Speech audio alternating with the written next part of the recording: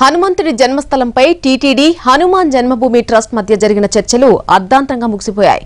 ఎవరికి వారు తమ వాదనే నిజమంటూ పట్టుబట్టారు. ఒకరిపై మరొకరు అపనమ్మకాన్ని వ్యక్తం చేయడంతో చివరకు చర్చలు అసంపూర్తిగా ముగిశాయి. కలియుగ పుణ్యక్షేత్రమైన తిరుమలే హనుమంతుడి జన్మస్థలం అంటూ గత నెల ఇరవై రెండున శ్రీరామనవమి సందర్భంగా టీటీడీ బహిరంగంగా ప్రకటించింది. గతేడాది డిసెంబర్లో భక్తుల కోరిక మేరకు హనుమంతుడి జన్మస్థలం తిరుమల అన్న అంశం పరిశీలన కోసం టీటీడీ ఈవో జవహర్ రెడ్డి ప్రత్యేకంగా ఒక కమిటీని ఏర్పాటు చేశారు. సంస్కృత విద్యాపీఠం వీసీ నేతృత్వంలో పండితులు ఆర్కియాలజీ అధికారులు సైంటిస్టులతో కమిటీ ఏర్పాటయ్యింది. ఇతిహాసాలు పురాణాలు శాసనాలు భౌగోళిక ఆధారాలతో తిరుమలే ఆంజనేయుడి జన్మస్థలంగా కమిటీ నిర్ధారించింది. అప్పటి వరకు ప్రాచుర్యంలో ఉన్న కర్ణాటకలోని హంపి మహారాష్ట్రలోని నాసిక్ జార్ఖండ్లోని గుల్మా గుజరాత్లోని డాంగ్ వంటి ప్రాంతాలకు ఎలాంటి శాస్త్రీయ ఆధారాలు లేవంటూ కమిటీ తేల్చింది.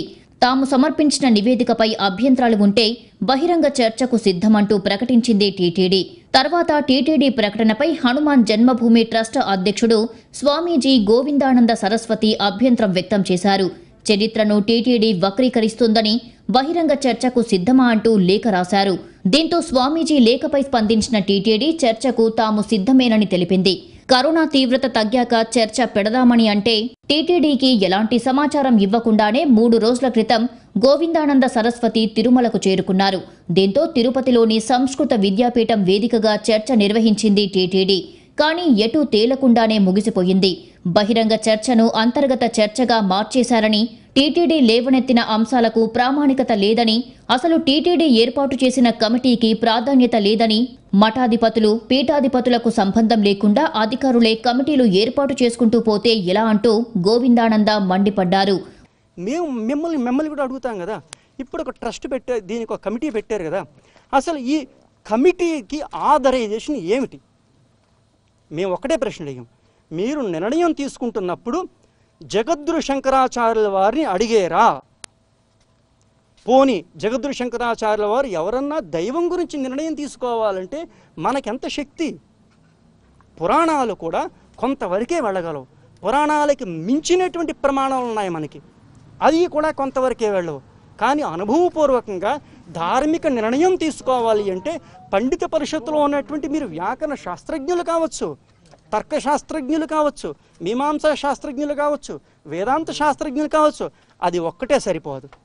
ఇప్పుడు పరిషత్తు మేము ప్రమాణం అనుకుంటున్నారు. కానీ మీకంటే పెద్దవాళ్ళు ఉన్నారు కదా.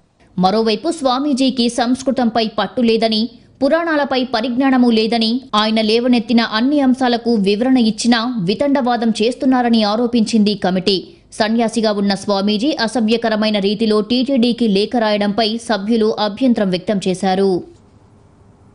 సో వాల్మీకి రామాయణం ఆధారం అని చెప్పినప్పుడు చెప్పండి మీరు ఆధారం ఏంటంటే ఆయన చెప్పలేకపోయారు. కాబట్టి ఏ ఆధారాలను మేము బలంగా తీసుకొని శాసనాలు కావచ్చు వాంగ్మయ ఆధారాలు కావచ్చు పురందరదాసు కూడా కర్ణాటక వాడై కూడా ఆయన అంజనాద్రిలో పుట్టాడు. హనుమంతుడని రాశారు. సార్ ఇప్పుడు చెప్తారు.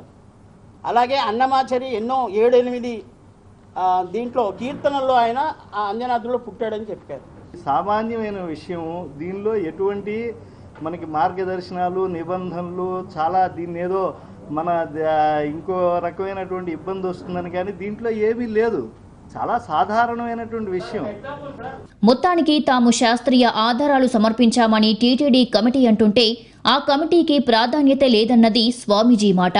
మొత్తానికి ఇలా ఎవరి వాదన వారు వినిపించడంతో చర్చ అసంపూర్తిగానే ముగిసిపోయింది. మరి తర్వాత ఏం జరుగుతుందన్నది ఆసక్తికరంగా మారింది.